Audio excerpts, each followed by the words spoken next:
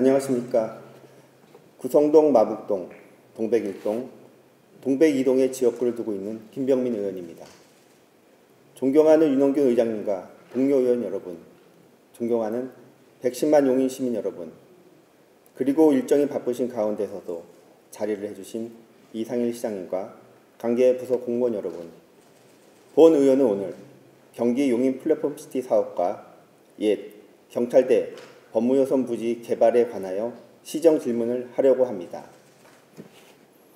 용인시가 경기 용인 플랫폼 시티를 추진하며 모범적인 자족도시로 거듭나기 위해서는 처음 계획한 부분에서 부족한 것에 대해서는 적극적으로 살펴보고 시민의 편의를 증진할 부분이 있으면 검토하고 타당성이 있다면 반영해야 한다는 것이 본 의원의 생각입니다.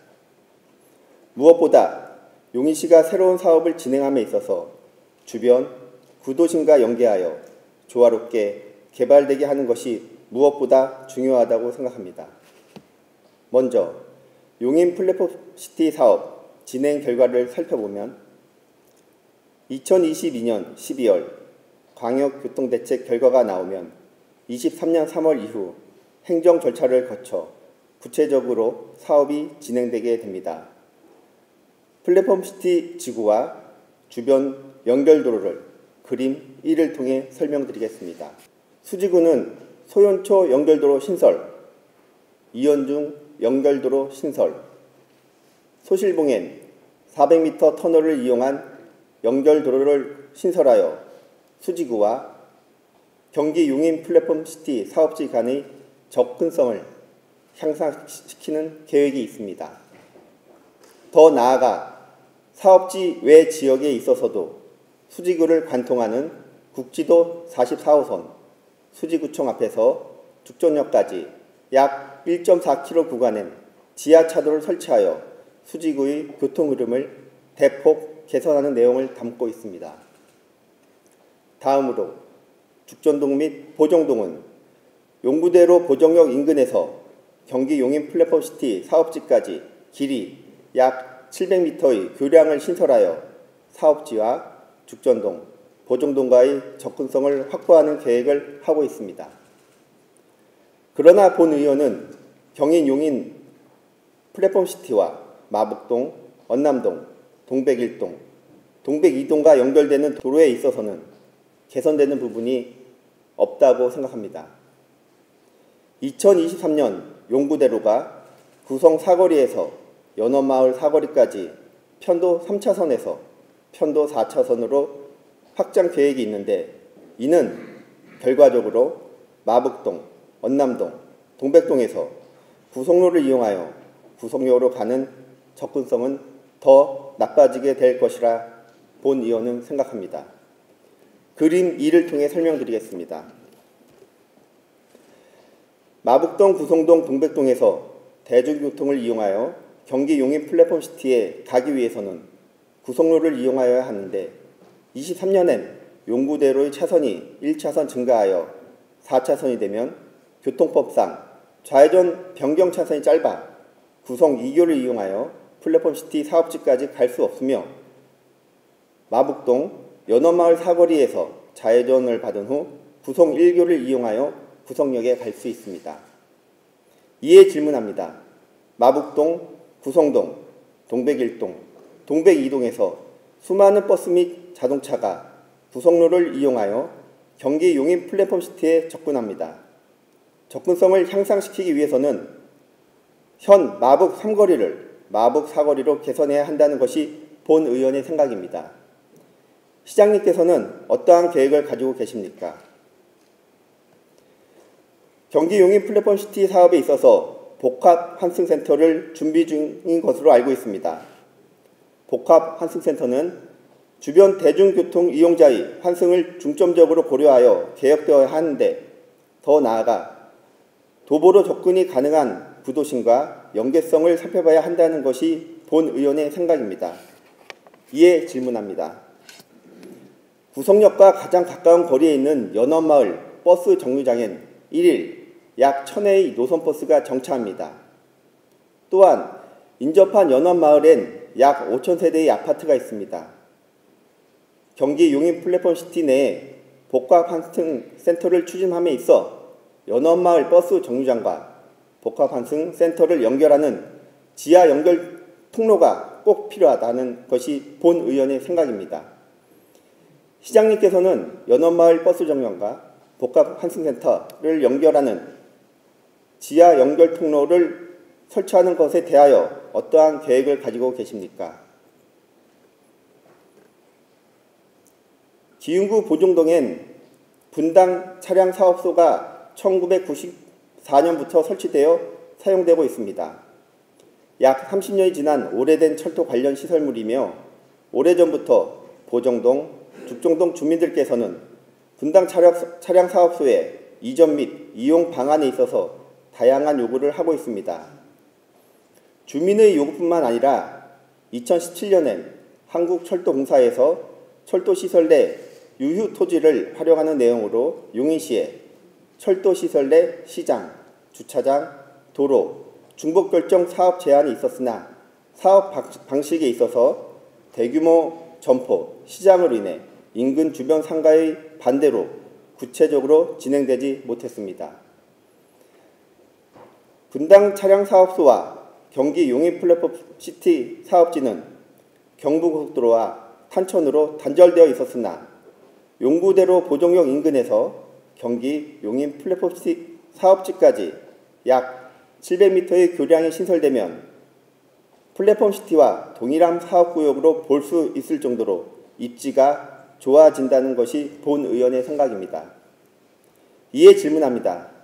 분당 차량 사업소의 활용 방안에 대해서 한국철도공사와 용인시가 적극적으로 협의하여 약 25만 제곱미터의 분당 차량 사업소에 경기 용인 플랫폼 시티와 연계하여 첨단 산업단지 조성을 추진해야 한다는 것이 본 의원의 생각입니다. 시장님은 분당 차량 사업소에 대해 어떠한 계획을 가지고 계십니까? 다음은 옛 경찰대 법무연수원 부지 개발 관련입니다. 2022년 10월 7일 공공지원 민간 임대주택 공급 촉진지구 지구계획 승인 신청에 의하면 아파트 6,059세대를 신축하고 15만 제곱미터의 문화공간을 기부 체납하는 내용이 있습니다. 옛 경찰대 법무연수원 부지 주변엔 지금 약 4천 세대의 아파트가 있으며 6,059세대가 추가로 들어오게 되면 총 만 세대가 넘게 됩니다. 그러나 LH는 우리 시와 지역 주민의 공통된 요구사항 광역교통대책인 마북 IC에서 국도 43호선까지 신설을 무시하고 지구계획 승인을 신청하였습니다. 이에 질문합니다. 사업자 LH는 옛 경찰대 법무연수원 부지 개발을 진행함에 있어 광역교통 개선대책 마북 IC에서 국도 43호선까지를 수립해야 하는데 사업 내용에는 담겨져 있지 않습니다. 시장님은 광역교통 개선 대책에 대해 어떠한 시정 계획을 가지고 계십니까? 흔히 도로는 도시 혈관이라고 합니다. 경기 용인 플랫폼 시티를 추진하며 살펴보지 못했던 구성동, 마북동, 동백일동, 동백이동과의 연계성을 대폭 확대하기 위해 본 의원이 질의한 내용을 면밀히 검토하여 주시기를 부탁드리겠습니다. 장시간 경청해 주셔서 감사합니다. 다음은 김병민 의원님께서 질문하신 옛 경찰대 법무연수원 부지 개발과 관련하여 답변 드리겠습니다. 옛 경찰대 법무연수원 부지는 국토교통부와 LH에서 종전 부동산 활용 계획에 따라 공공지원 민간 임대 공급 촉진지구로 지정되었으며 해당 사업으로 인한 교통 문제 해결 대책은 미비한 상황입니다. 이에 우리 시에서는 지속적으로 광역 교통 개선 대책을 요구하였습니다. 특히 올해 10월 원희룡 국토교통부 장관이 우리 영인시를 방문했을 때 그간 우리 시에서 시행했던 국토부 시행 택지 개발 사업 문제점과 광역 교통 개선 대책의 필요성을 충분히 설명하고 우리 시의 입장이 반영될 수 있도록 최대한 도와달라는 부탁을 했습니다.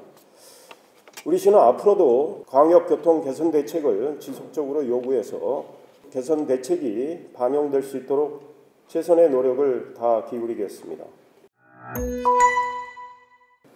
플랫폼 시티 개발 사업권과 관련한 세 건의 질문에 대해 답변드리겠습니다. 먼저 플랫폼 시티와 관련 마북 삼거리 개선에 대해 답변드리겠습니다. 국지도 23호선은 플랫폼 시티 광역교통 개선 대책 중 가장 많은 사업비가 투입되는 노선으로 전체 광역교통 개선 대책 비용 중 42.3%인 4,570억 원을 투입하여 4.3km의 대신도 지하도로 신설을 계획하고 있습니다. 국지도 23호선과 지하도로가 신설될 경우 지상국지도 23호선의 교통량이 분산되어 마북 상거리 교통 환경이 개선될 것으로 판단됩니다.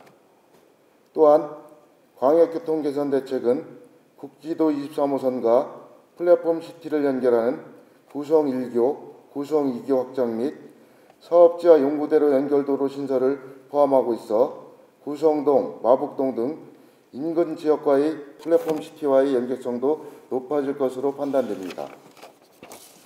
다만 마북 상거리 구성로가 국지도 23호선과 접속되는 지점에서 예각 형태의 도로 형상을 이루고 있으며 이 지역의 도로와 토지 이용 형상을 변경하여 직각 교차로가 되지 않는 이상 플랫폼 시티와 직접적인 사거리 체계를 만들 경우 플랫폼 시티 내의 토지 이용 계획 및 도로 등 반영에 어려움이 있습니다.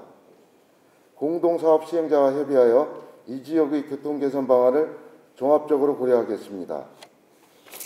다음은 연원마을 버스 정류장 지하 연결 통로 설치에 대해 답변드리겠습니다. 복합 환승센터는 플랫폼 시티 내 구성역 및 용인역 인근에 조성될 예정이며 연원마을 버스 정류장에서 구성역까지는 221m, 도보 4분 거리로 지상으로의 보행이 충분히 가능한 공간입니다. 우리 시 도시철도과에서 검토한 바에 따르면 이용 수요 및 수인 분당선 간섭, 지하보도 비상대피 등의 이유로 해당 위치의 지하보도 개설은 어려운 것으로 판단되었습니다. 향후 플랫폼 시티 광역교통 구성 1교 실시 설계 시 안전하고 쾌적한 보행 환경이 조성될 수 있도록 검토하겠습니다. 또한 플랫폼 시티 내부 도로 개설 후에는 버스 노선 변경 등 현재의 대중교통 이용 현황과는 많은 변화가 예상되므로 관련 부서 및 기관과 협의하여 그에 따른 교통 처리 계획과 보행자의 안전한 보행 환경을 면밀히 검토하도록 하겠습니다. 끝으로 플랫폼 시티와 축전 분당 차량 기지의 연계 개발 계획에 대해 답변드리겠습니다. 플랫폼 시티 도시개발 사업은 현재 개발구역이 결정되어 각종 재영향평가, 관련 기관 협의를 거쳐 실시계획 인가를 앞두고 있으며 지역 주민 및 토지 소유자들과의 수많은 협의 끝에 보상 절차도 진행되고 있습니다. 사업 시행자는 추가 사업구역 확대는 어렵다고 신하였으나 향후 지역 해당 지역 사업이 제한될 시 지역 발전을 위하여 플랫폼 시티와 연계한 종합적인 검토 방안을 모색하도록 하겠습니다. 이상으로 답변을 마치겠습니다.